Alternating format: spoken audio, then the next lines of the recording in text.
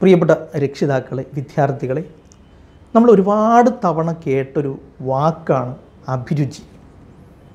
അഭിരുചി പരീക്ഷ നടത്തുക അതിനനുസരിച്ച് കോഴ്സ് സെലക്ട് ചെയ്യുക. എന്താണ് സത്യത്തിൽ ഈ അഭിരുചിയും ആ പരീക്ഷയുടെ പ്രത്യേകത എന്താണ്? അതുകൊണ്ടുള്ള കാര്യം എന്താണ്? പലപ്പോഴും ഇത് അറിയാറില്ല.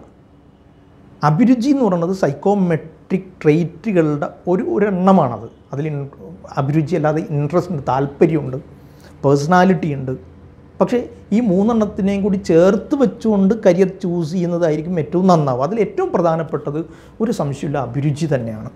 അഭിരുചി എന്ന് പറയുമ്പോൾ നമ്മളൊരു ഇന്നർ പൊട്ടൻഷ്യൽ ഇന്നർ സ്കിൽസ് ലോകത്ത് ഏറ്റവും കൂടുതൽ വൈഡായിട്ട് യൂസ് ചെയ്യപ്പെടുന്ന ഉപ ഉപയോഗിക്കപ്പെടുന്ന ഒരു ആപ്റ്റിറ്റ്യൂഡ് ടെസ്റ്റാണ് ഡിഫറൻഷ്യൽ ആപ്റ്റിറ്റ്യൂഡ് ടെസ്റ്റ് ഡിഫറന്റ് ആയ കുറേ ട്രേറ്റുകളും വേരിയബിൾസും വെച്ചുകൊണ്ട് ഒരാളുടെ കഴിവ് കണ്ടെത്താനുള്ള ശാസ്ത്രീയമായ ഒരു സൈക്കോമെട്രിക് ടൂളാണ് ഡിഫറൻഷ്യൽ ആപ്റ്റിറ്റ്യൂഡ് ടെസ്റ്റ് അത് ഏറ്റവും സയന്റിഫിക്കായിട്ടും ഏറ്റവും അപ്ഡേറ്റഡ് ആയിട്ടും യൂസ് ചെയ്യുന്നത് പിയേഴ്സൺ ലണ്ടൻ ബേസ് ചെയ്തുകൊണ്ടുള്ള പിയേഴ്സ് എന്ന് പറഞ്ഞൊരു ഗ്ലോബൽ എഡ്യൂക്കേഷണൽ റിസർച്ച് കമ്പനിയാണ് കേരളത്തിൽ അതിന്റെ ഫ്രാഞ്ചൈസി ഉള്ളത് കരിയർ ഗുരുവിലാണ്.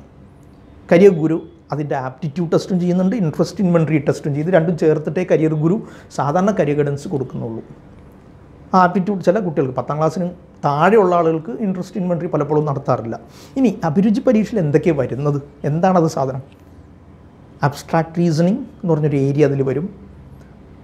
പെർഫോമൻസ് ടെസ്റ്റാണ് ശരിക്കും different aptitude test performance test എന്ന് പറഞ്ഞാൽ രണ്ട് ടൈപ്പ് ടെസ്റ്റ് ഉണ്ട്. ഒന്ന് സ്റ്റേറ്റ്മെന്റ് ടെസ്റ്റ് മറ്റൊന്ന് പെർഫോമൻസ് പെർഫോമൻസ് ടെസ്റ്റ് എന്ന് പറയുമ്പോൾ ഇപ്പോൾ ഇരുപത്തി നാല് മൈനസ് ആറ്. താഴെ ഉത്തരം തരും നാല് ഓപ്ഷൻ തരും. ഇതിലേതാണ്?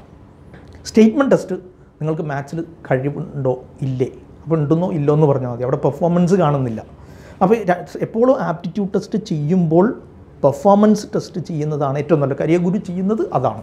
പിയേഴ്സിന്റെ ടെസ്റ്റും പെർഫോമൻസ് ടെസ്റ്റാണ് ആറ് ഏരിയകളാണ് പ്രധാനമായിട്ടും ആപ്റ്റിറ്റ്യൂഡ് ടെസ്റ്റിൽ വരുന്നത്. ഒന്ന് verbal reasoning verbal reasoning conduct ചെയ്യുന്നത് ടെസ്റ്റ് ചെയ്യുന്നത് തന്നെ ഒരാൾക്കൊരു വെർബൽ കമ്മ്യൂണിക്കേഷൻ ഒരു ഒരു ഒരു കോൺസെപ്റ്റ് മനസ്സിലാക്കിയെടുക്കണം വായനയിൽ നിന്നും.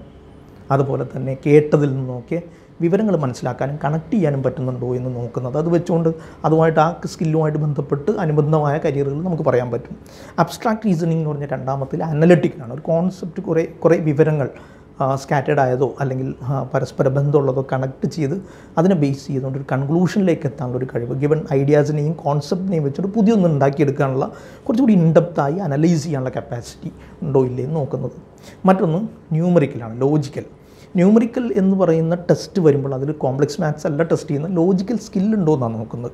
അത് അബ്സ്ട്രാക്റ്റുമായിട്ടും വെർബലുമായിട്ടും മെക്കാനിക്കലൊക്കെ പോലുള്ള ഏരിയകളായിട്ട് കണക്ട് ചെയ്യുമ്പോൾ മറ്റ് സ്കില്ലുകളും നമുക്ക് വെളിപ്പെട്ട് വരും.